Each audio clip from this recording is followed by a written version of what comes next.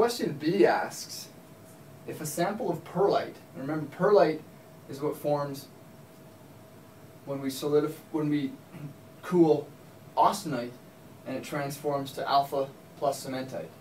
So if we had some pearlite and we took the pearlite out, how much of that pearlite would be ferrite? So this is kind of a tricky question.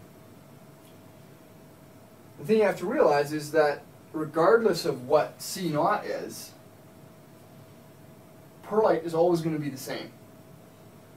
So you don't need to have known anything from the previous part of the question.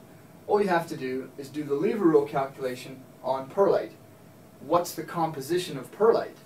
Remember I said pearlite is everything that transforms at the eutectoid composition. So therefore all we need is 0.76 and our same lever rule calculation. so we want to know how much is ferrite. So again, we're going to take the opposite side.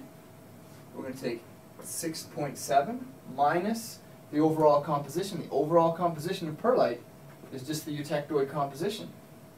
0.76 divided by the entire tie line, 6.7 minus 0.022.